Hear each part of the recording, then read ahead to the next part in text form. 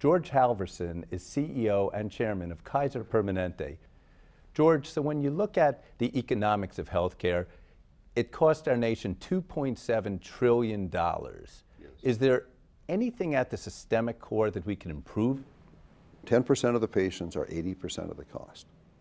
So if you focus on the 10% of the patients who are 80% of the cost, and then you identify what each of those patients needs as a care plan, and then you deliver on the care plan, you can cut the number of heart attacks literally in half. You can have a huge impact.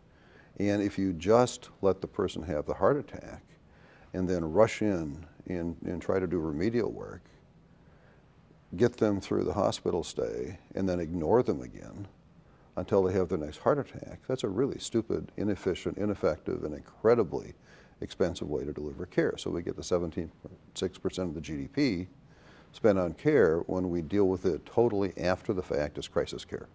And then re-engineering care inside hospitals to make sure that hospitals are safer is also incredibly important. When, when you look at hospital care right now, the number one cause of death in hospitals is infections.